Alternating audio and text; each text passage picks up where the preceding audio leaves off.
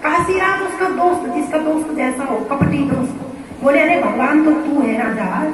कौन भगवान तो वैसे ही भगवान बना है, कृष्ण नहीं है। तो बोले, भाई, क्या करना चाहिए? अरे, चार हाथ तो भी लकड़ी का लगा, एक ऐसा यंत्र बना जो आकाश में उड़े, खूब गोपियों को इकट्ठा कर, तू राजा है, पूरे धाम के, पूरी गोपियों के नाचने बन गया तो भगवान। तो बोले, मैं उसने वैसा ही कर दिया तू फिर वो करेगा, मैं पैसा इकट्ठा करूँगा। तो यह हम दोनों साथ में रहेंगे। काशीराज ने बोला, भैया, मैं बन गया। तो फिर वो भगवान कैसे है? कृष्ण। बोले, चिट्ठी लिख दी उसको। और पौंडुक ने चिट्ठी लिख दी है कृष्ण, तू भगवान बनता है उसने भगवान मैं हूँ। ये छोड़ दे तो सब रास लीला करना, चार हाथ लगाना, ये मैंने लगा दिए, चार हाथ, मैंने सब कुछ बना दिया। और मैंने गोपियाँ भी इकट्ठा कर दी। तो मैं आ गया भगवान लोगों को दुख करने के लिए। भगवान ने फिर उसी के पास चिट्ठी भेजी कि तू भगवान है तो कल मैं आ रहा हूँ। कल मैं वही आ रहा हूँ, तू चिंता मत करी धर्म का उस समय काशीराज के पास रोने लगा ये पुंडरू अरे तूने तो बोला था, चिट्ठी भेज अब तो वो यही आ रहा, मैं अब बचूँगा नहीं। अरे मैं हूँ ना चिंता क्यों करा क्योंकि जो गिराने वाले दोस्त भी होते हैं उठाने वाले भी दोस्त होते हैं तो इसलिए जो संग संग परितज्य कुसंग का परित्याग कर दो। जो सच्ची शिक्षा दे, वो हमारे गुरु, वो हमारे भगवान, वो हमारे सब कुछ है। इस कृष्ण भगवान जी आ गए अपनी सेना को लेकर। ये डरने लगा, भैया क्या करें? किस प्रकार करें अरे तो वो तो यही पहुँच गए और उस समय पहले मुर राक्षस आया, जिसके पाँच सिर से मुर को मार दिया भगवान ने नाम बड़ा बुरा है, बोले बुराई हनुमान की। तो ये जो फिर उस पौंड्र को काली नाश कर दिया। पौंड्र को भी मार दिया। तो इस प्रकार जो आज भी जो, आज भी जो नकली असली जो मिलावट उस समय से है तो उसी, जो आज भी कपट में ब्राह्मण भी है, सब कुछ है, हर चीज़ में मिलावट है, कोई नकली, कोई असली। रामावतार में भी काले नहीं था तो उन्हीं की वंशज आज तक ये आगे बढ़ती आ रही है। उनके वंशज जो कपट रूप में ब्राह्मण भी बने हैं, कपट रूप में व्यापारी भी बने हैं। तो इस प्रकार कश्यप मुनि आए और कश्यप मुनि ने कहा तक्षक तो हमारे राजा को काट नहीं सकता है? तक्षक राजा ने इसको बहुत सारा धन दिया। और ये वो धन लेकर के चला गया, छोड़ दिया, जा काट लिया। मुझे बस मेरा जेब खर्चा दे दे, काट लिया कश्यप मुनि जो ब्राह्मण थे, वो चले गए। इधर तक्षक आया तो पूरा घेराबंदी कर रखी पुत्रों ने। तो एक फूल अंदर जा रहा तो फूलों की टोकरी में छोटा सा रूप धारण करके ये चला गया। और वहाँ जब अंदर गया तो इसने तक्षक रूप ने अपना विशाल रूप धारण किया और फन को फैलाता हुआ और परीक्षित जी महाराज को डस दिया, क्योंकि सांप से प्रेरित था। उस समय परीक्षित जी जब सांप ने इस सांप ने काटा, उससे पहले ही गुरु महाराज की कृपा से, इन्होंने अपने प्राण को पहले ही गुरु के जाने से पहले ही भगवान के चरणों में अर्पित कर दिए थे। ये केवल क्योंकि कथा से इन्होंने यही कथा का लक्ष्य है। कथा का लक्ष्य है कि मृत्यु आ जाए। मृत्यु तो आना ही है, चाहे हम कितने भी कुछ करें, मृत्यु किसी भी समय आ सकती है। तो उस मृत्यु के आने से पहले हमें भगवान के चरणों में समर्पण हो जाना चाहिए। और जब हम भगवान के चरणों में समर्पण हो जाए तो मृत्यु आकर भी हमारा कुछ बिगाड़ नहीं पाएगी। और इस प्रकार सर्पदंश हुआ विमान में बैठकर परीक्षित जी महाराज चले गए हैं। अक्षत, अब इनका पुत्र राजगद्दी पर बैठा जमने जय है परीक्षित जी के पुत्र के नाम। पुत्र ने क्रोध आया कि मेरे पिता को सांप ने डसा। इसने एक ऐसा यज्ञ किया, सर्प सर्प यज्ञ किया, सर्प विध्वंस यज्ञ। उसमें इन्होंने आस्तिक मुनि को बुलाया। आस्तिक मुनि सर्प यज्ञ ही करते थे। सर्प सत्र यज्ञ में प्रवीण थे, क्योंकि हर ब्राह्मण अपने अपने कार्य में प्रवीण होते आस्तिक मुनि होता बने, अन्य ऋषि उनके साथ बने, वो प्रधान आचार्य बने, और उन्होंने आरंभ कर दिया कक्षाएँ सौ सांपों का नाम लेते हुए अग्नि में स्वाहा जैसे ही किया तो जहाँ भी संसार में सर्प थे, वो सब खत्म होने लगे। तत्म इंद्र के इंद्र के सिंहासन पर निपट गया तब तक विश्वाम बृहस्पति जी महाराज आए, उन्होंने हत्या के लिए मना किया। कितना बड़ा यज्ञ किया तुमने तो ये यज्ञ तो कोई कर नहीं सकता है श्रीमद महाभारत का। यज्ञ तो बड़े भाग्य से, बड़ा सौभाग्य जिस कुल में हो। इक्कीस तीन त्रिशक्ति पुता पिता पुत्र प्रहलाद प्रसंग में आया। इक्कीस पीढ़ी तक जाती है। उसकी जिसने एक बार श्रीमद भागवत को जी मरने के बाद कोई हो ना हो जी दे जी अपने हाथों से करवा दिया तो मरने से कोई इसके विरोध हो ना हो इसे कि चिंता नहीं। तो साधु लोग तो अपना पिंड दान भी पहले ही कर देते हैं। हो हो तो इस प्रकार पूजी तो ये है। परीक्षित जी महाराज अपने परिनिष्ठ हुए हैं जन्मे जय जी का और अब यहाँ पर कथा तो समाप्त हो गई क्योंकि परीक्षित जी चले गए जो प्रधान श्रोता थे वो तो चले गए। सुखदेव जी महाराज बद्रिका आश्रम चले गए, लेकिन कथा यहाँ पर विश्राम हो जानी चाहिए, लेकिन अभी कथा विश्राम नहीं सूत जी महाराज की जो कथा चल रही है, इधर काश्मीर में नहीं मैं तीर्थ पर, वहाँ की कथा अभी चल रही है सूत जी कथा सुन रहे हैं और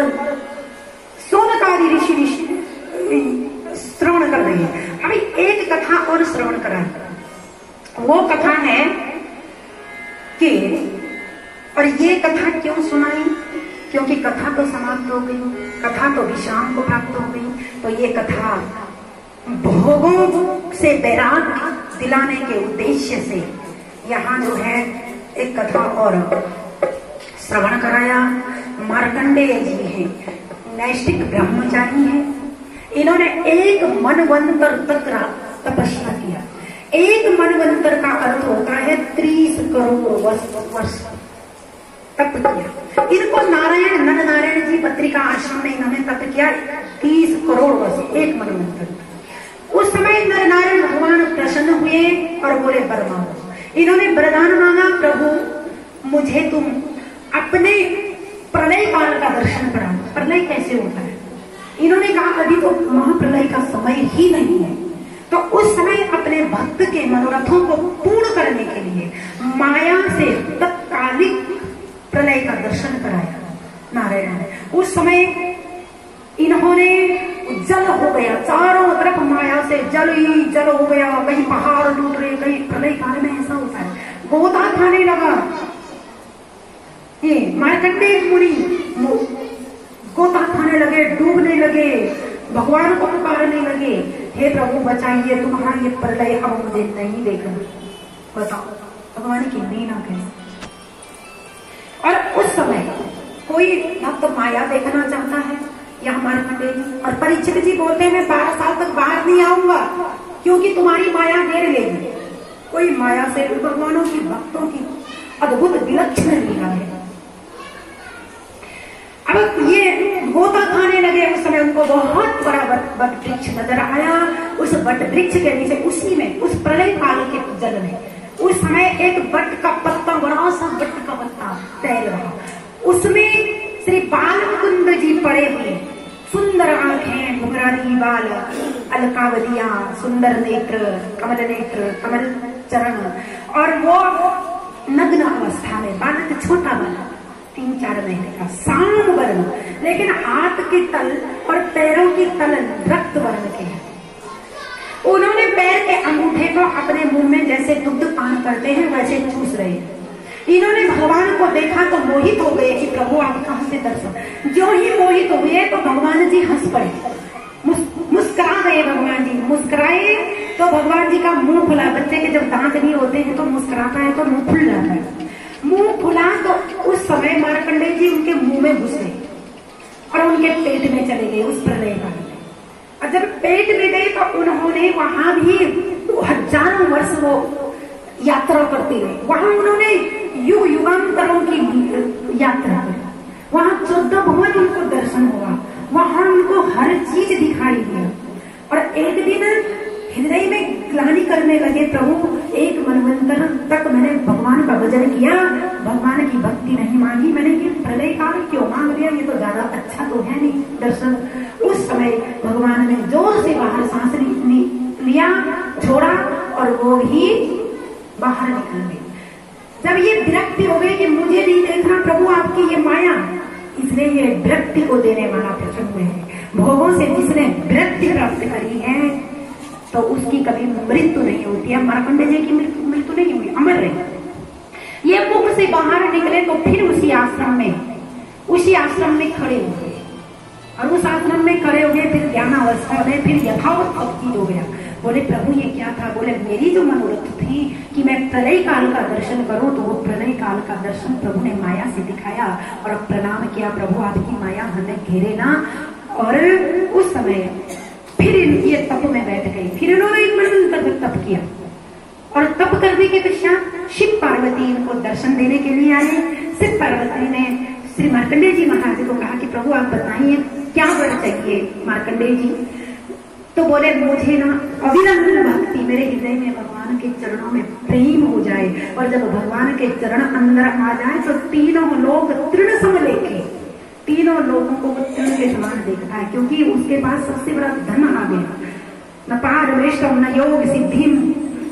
कुछ नहीं चाहिए फिर जब भगवान के चरण हृदय में आ गए।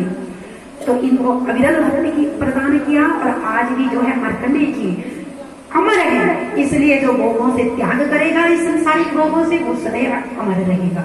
इस कथा को सु, सुनाया कहा और फिर अब महात्मा सब ध्यान से सुने जो कभी नहीं आया एक दिन आया या दो दिन आया। आज महात्म्य का श्रवण कर ले तो पूरे भागवत सप्ताह यज्ञ का फल उसको प्राप्त होगा। श्री परीक्षित जी महाराज।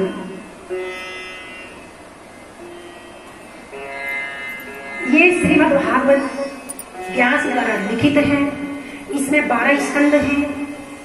एक तीन सौ पैंतीस अध्याय हैं और अठारह हज़ार श्लोक हैं। छह अध्यायों में महात्म्य है। प्रथम स्कंद जो है, प्रथम स्कंद, वो प्रथम स्कंद जो है, उसमें परीक्षित जी महाराज का जन्म कर्म और सुखदेव जी महाराज का आगमन। प्रथम स्कंद में क्या है? परीक्षित जी का जन्म हुआ है। और परीक्षित जी को महाराज को सात दिन मरने का जो है, सातवें दिन में मृत्यु का जो है साप मिला और फिर उसके बाद इनके ही गुरुदेव महाराज, सुखदेव जी का आगमन हुआ, ये प्रथम स्कंद में है।